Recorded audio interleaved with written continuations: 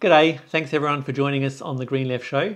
My name is Alex Bainbridge from Green Left, and uh, you will have noticed that this is the first episode of the Green Left Show that we've produced for a little while. We are committed to ongoing production of the Green Left Show, and more episodes will be coming out on a regular basis. This show is recorded on stolen Aboriginal country, and we pay our respects to elders past and present, and we also pledge our solidarity with ongoing struggles for justice for Aboriginal people always was, always will be Aboriginal land. Before we get underway, I want to remind everyone that the best way you can support Green Left, if you like the work we do, please become a Green Left supporter. It's a monthly financial contribution, starts from just $5, very modest. It's the best way to show support for Green Left as well as to receive the content that we produce. There's information in the description for how you can do that, and we would love to have you on board as a Green Left supporter. The election has been called in Australia and there'll obviously be a lot of focus on that, including at Green Left. We have uh, produced a number of videos about the election candidates, and we will be producing more. And of course, there's a lot of lot more information on the and analysis on the on the main Green Left site. So please stay tuned for Green Left for that. There are there is a link in the description below. But one issue which is perhaps not getting as much attention in the election campaign as it should is the issue of freedom for Julian Assange, and that's what we're going to be covering in today's episode of the Green Left Show. Uh, I am here with John Shipton. Uh, John is Julian's father, and he's going to be discussing uh, some of the issues that um, you know about this case. Before we dive into that, I do want to say there's links in the, in the description below uh, for how you can support the, the Free Julian Assange campaign and also uh, the movie Ithaka, which John was up in Brisbane to um, to, to speak at the at the opening um, at the, the, the premiere screening. So, into the interview with John Shipton, Julian's father. Uh, thanks very much, John, for joining us. And I just want to say the first question I asked John was to just explain the current legal situation for Julian, where things are at with the campaign and with his life. Uh, his, uh, the defence, after the courts heard the American appeals, the next in line is the defence's appeals. And the defence have uh, appealed against the fullness of Baraitser's judgment back in uh, January last year uh, because uh, it gave to the United States every other aspect of the extradition charges excepting health. That meant that public interest, uh, that meant also that they accepted the uh, mm, testimony of a convicted paedophile and fraudster, um, Thordarson from, uh, from uh, Iceland. Uh, also, they ex accepted that the treaty obligations between the United Kingdom and the United States didn't account for uh, uh, political uh, extradition. Now, that's really important because the treaties state specifically no extradition for political charges. And as you know, the charges are the Espionage Act, which is clearly political. So those three major areas um, were uh, acceded to by Judge Baraitser, and now the defence appeals against those, uh, and that is comes before the High Court. The High Court makes a decision as to whether the defence appeal can be heard. Then it says yes or no. If it says no, then the, the matter moves to the European Court of Human Rights. One of the things that strikes me about this whole situation is the way I often describe it with the legal system, the process itself is the punishment. Like we could get to a situation in how many years' time Julian could be completely vindicated by the courts, but he's still been punished all of these years uh, in prison right now. He hasn't been found guilty of anything. Do you want to comment on that? yes, I see that phrase around a bit, but it doesn't get much sympathy from me, even though it's probably in one way an accurate decision. I, I think a more precise decision is that given by uh, Nils Melzer that three states have embarked upon uh, the torture of uh, Julian Assange, and that extends from 2011 until now. That's uh, moving into its 14th year. Now that the four, the 14 years, the boundaries of that uh, arbitrary detention are decided. The outer boundaries, the 14 years of arbitrary detention, are decided, have been decided by the United Nations Working Group on Arbitrary Detention in its two, February 2018 declaration that Julian Assange was being arbitrarily detained and ought to be freed and given compensation. That's 2018, February. Since then, 2018, 2019, 2020, 2021, 2022. So you can see it's a lot more than punishment by process. It's uh, sadistic, continuous sadistic torture of a publisher and journalist. Do you have any comments um, to the Biden administration, given that Obama decided not to try and extradite Assange, and this is a, a, a Trump era extradition attempt? Biden could simply direct the, the Justice Department to, to end it. Do you have any comments about that? Yes, I don't know. You know, in to make an example, in the case of Australia, there's been five prime ministers, four governments, three foreign ministers. The policies regarding Julian Assange remain the same, with nuanced movements. Uh, in the case of Malcolm Turnbull and Julie Bishop, they made inquiries uh, of Jeremy Hunt and Mike Pompeo. Um, and in the case of uh, uh, Prime Minister Kevin Rudd, he made some sort of comment, you know. So they're minor um, involvement of this government, uh, in the Australian government, but the policy overall continues unabated. I assume that the institutional momentum and structure is the same, is similar in the United States, and this persecution continues as a matter of institutional interest. Similarly, uh, in the United Kingdom, there's been, uh, from memory, one, two, three, four governments uh, of both colours, um, and the Julian has appeared before now 21 judges, and it'll rise to 23 uh, after the current hearing comes. And each of those, sorry, the majority of those judges are from senior courts, superior courts. So you can see that similarly to Australia, it's an institutional problem in my view. So uh, I can't see an individual uh, politician such as President Joseph Biden saying, oh, look, I'm sick of this, let's fix this mess, mess up. He would probably say, this is a bloody mess. What are you people going to do about it? How are you going to fix this? It's not getting us anywhere, it's going nowhere. I expect that the Prime Minister Morrison or Prime Minister Anthony Albanese after the current election will make the same inquiry but with greater force. Fix this mess. The fixing of it is very simple.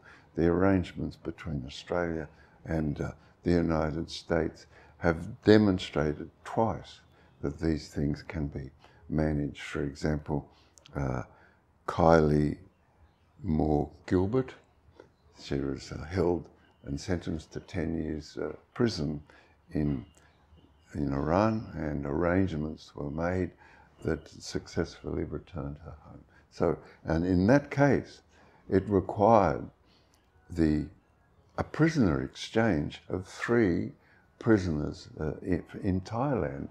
They were imprisoned in Thailand. An Australian aeroplane flew to Thailand, picked up the prisoners, and then flew to Tehran and then flew back and picked up somebody else, I don't know who.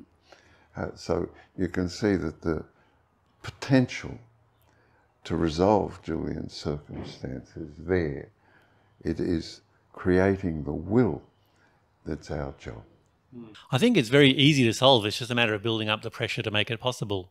And I think your comment at the rally the other day about the number of politicians that have joined uh, the Assange parliamentary group is probably an indicator of the amount of pressure that's building. Would you agree with that? Yes. Uh, uh, I, would just like to, to um, say that the parliamentarians that have joined the Assange group, founded, by the way, by Peter Whish-Wilson and Andrew Wilkie some years ago, are attentive to the concerns of the electorate. So, you, in this metaphor, you'll see that 29 members of the parliamentary Assange group and others who are on the periphery of that group are a tip of an iceberg that spreads right down, right through every strata of Australian society.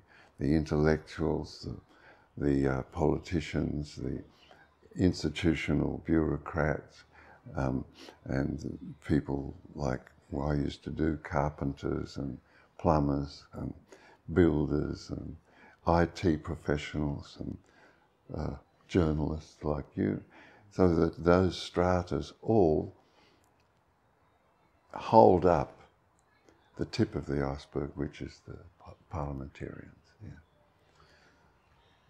It's important to remember that, I think, because it's us. Yes, yeah. I think coming from an activist point of view, I feel very strongly about that. Like people often look towards politicians, but no, it's actually us. the grassroots yeah, campaigns that makes the difference. Yeah. Um, eh, and I'm wondering if you might make some comments about the media. I, uh, I have got this dim memory from my uh, from my very early days as an activist at the time of the first Gulf War in 1991, reading a report about an academic study, and of course I'm sure I've missed some of the nuance perhaps at the time and the and the, the the fog of memory since then as well. But the take-home message I got from that was that at the time of the 1991 Gulf War, there was you know broadcast media, saturation media coverage of the of the invasion of Iraq, but this study found that the more TV people watched, the less they actually knew about the dynamics of what was going on. Um, you know, the, you know the underlying dynamics in the in the, the war in Iraq, and now we've got this um, this war in Ukraine, and I feel like the same thing. There's a media um, uh, saturation coverage um, but in fact, I think one thing I saw recently was that there was more more coverage of Ukraine in the US key networks than at any any of the other previous conflicts the US has been involved in in the last few decades. Um, and it feels to me like war crimes has been one of the key things that WikiLeaks has exposed. You spoke about the positive role that WikiLeaks has played. Into that context, can you make any comments about the media, both their coverage of Julian's case, but also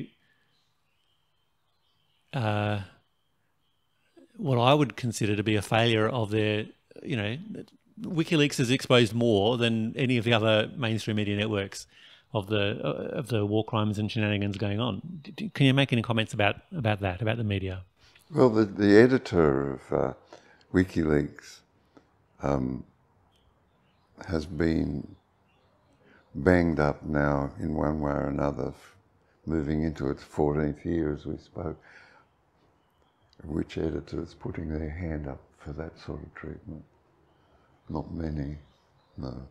So the, the oppression and intimidation that's precipitated from the treatment of Julian Assange and WikiLeaks and others, Ola um, indicates to us that it's successful. Yeah. They don't want us to know. I don't want to blacken all of the media because um, most of the major legacy media has spoken against the extradition. New York Times, The Guardian, The Times, The Telegraph, The Sydney Morning Herald, all The Age. Also, I want to give some understanding to other media managers that 60 Minutes uh, production of Stella Moris had a million views. The 60 Minutes production of Julian and Stella's wedding has 700,000 and it'll crack out at a million. So media managers realise now that the interest is there amongst us. You know, this is a concern of ours. A million views is no lightweight, you know, and uh, so media managers had best uh, understand for their own benefit that in two ways. One is that once you're oppressed, well, you're ended. You know, your prestige is gone, and the government just rings you up and says, "Turn left at that corner, and if you don't, I'll pull your fingernails out." Um, so, resisting the oppression is one thing, and also understanding that we, the people, will assist the resistance of that oppression because, as you can see, a million people viewed the, the uh, 60 Minutes program on Stella and Julian. Mean, get with the program. It's the same for the politicians. You won't lose any votes standing up for Julian Assange, but you'll get some. It'll get you over the line in some cases. I mean, I, I can't understand it. Why aren't running around saying, Julian, Julian, bring him home?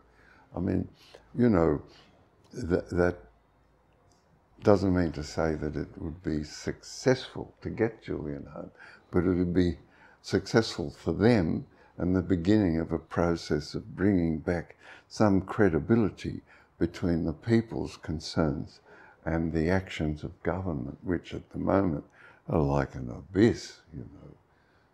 It's got a real credibility problem.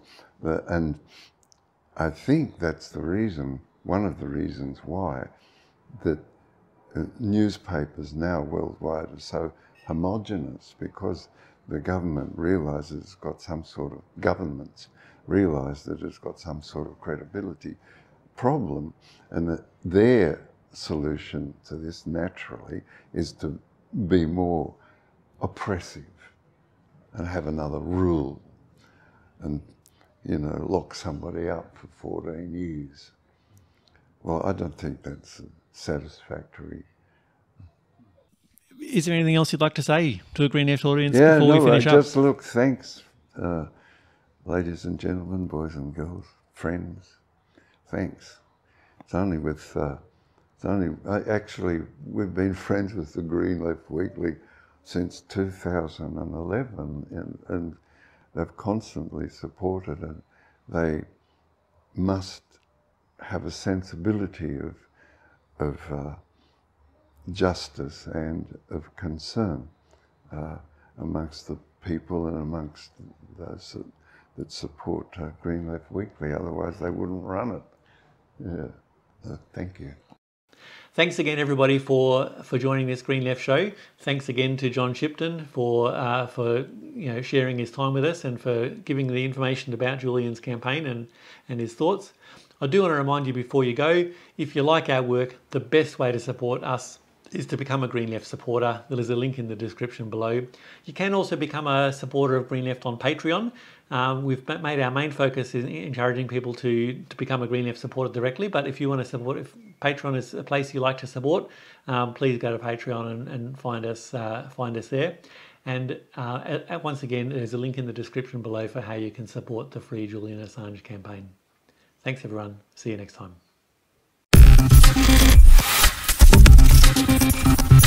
Bye.